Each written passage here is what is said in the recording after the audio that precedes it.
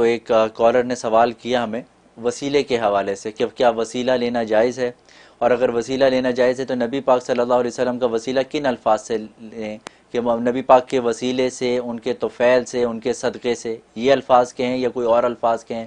اسی طرح امام حسین کا وظیفہ لینا، امام حسن کا لینا، اسی طرح امہات المومنین اور دوسرے دیگر اولیاء کاملین کا وسیلہ لینا، کیا یہ بھی اس میں شامل ہے؟ اور اگر ہے تو پھر کس الفاظ سے لیں؟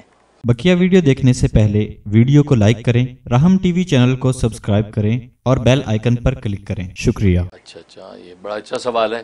ہاں بالکل اہل سنت والجماعت کا بالکل حق عقیدہ یہی ہے کہ بالکل وسیلہ، نیک اعمال کا وسیلہ پکڑنا اور نیک لوگوں کا وسیلہ پکڑنا بالکل جائز ہے۔ بالکل جائز ہے۔ بلکہ قرآن کریم نے وب تغو الہ الوسیلہ کا حکم فرمایا کہ وسیلہ پکڑو، وسیلہ تلاش کرو۔ تو وسیلہ لینا جو ہے نبی پاک صلی اللہ علیہ وسلم کا بالکل جائز اور الفاظ اس کے لیے سب استعمال کیے جا سکتے ہیں کہ رسول اللہ صلی اللہ علیہ وسلم کے صدقے سے، ان کے طفیل سے، ان کی حرمت اور عظمت سے ان کی برکت سے یہ سارے الفاظ جو ہے وسیلے کے طور پہ استعمال کیے جا سکتے ہیں۔ اس میں کوئی مذاکرہ نہیں ہے اور وسیلہ نبی کا بھی لیا جا سکتا ہے اور انبیاء کا بھی لیا جا سکتا ہے۔ پھر اولیاء کا بھی لیا جا سکتا ہے۔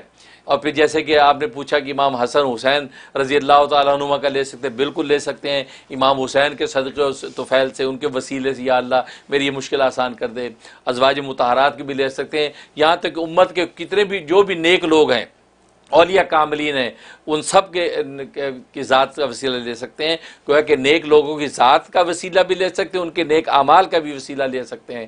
تو دونوں طرح بالکل جائز ہے، اس میں کوئی مذاکرہ نہیں ہے اور اسی انداز سے آپ وسیلہ کر سکتے ہیں اور وسیلہ کے ساتھ دعا کرنے سے، بلکہ آپ کو تو پتہ ہے، سب سے پہلا وسیلہ جو ہے وہ آدم علیہ السلاۃ والسلام نے نبی پاک صلی اللہ علیہ وسلم کا پکڑا جب وہ توبہ کے لیے دعا کی تھی، تو سب سے پہلے آپ نے وہ جب آسمانوں پہ لا الہ الا اللہ محمد رسول اللہ لکھا دیکھا، تو محمد دیکھ کے فرمایا کہ اللہ، یہ جو آپ کے نام کے ساتھ جس ذات کا نام ہے، یا اللہ اس کے وسیلے سے مجھے معاف کر دے۔ تو سب سے پہلا وسیلہ تو بابا بابا آدم نے پکڑا۔ اور آج بہت سے نادان لوگ کہتا ہے جی وسیلہ جائز نہیں ہے، یہ وہ وہ بھی نادانی کرتے ہیں، ان کو اپنے علم انکریز کرنا چاہیے، علم میں اضافہ کرنا چاہیے، انشاءاللہ ان کا شبہ بھی ختم ہو جائے گا۔ تو بابا آدم نے وسیلہ، تو اللہ تبارک و تعالیٰ نے پوچھا کہ آدم، تجھے کیا معلوم کہ محمد کون ہے؟ کہا کہ مجھے یہ تو معلوم نہیں کہ کون ہے، لیکن آپ نے اپنے نام کے ساتھ ان کا نام رکھا ہے، لا الہ الا اللہ محمد رسول اللہ۔ تو آپ کے نام کے ساتھ جس کا نام ہے تو ضرور یہ کوئی برگزیدہ شخصیت ہے، کوئی منتخب بندہ ہے۔ اس لیے میں نے ان کا وسیلہ پکڑا ہے۔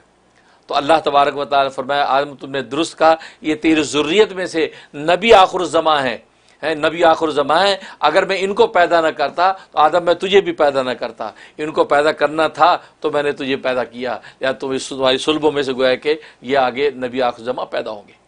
تو اس لیے وہ وسیلہ تو آدم نے سب سے پہلے لیا۔ تو وسیلہ لینا بالکل جائز اور میں نے بتایا ان تمام الفاظوں میں کسی بھی طریقے سے لے سکتے ہیں۔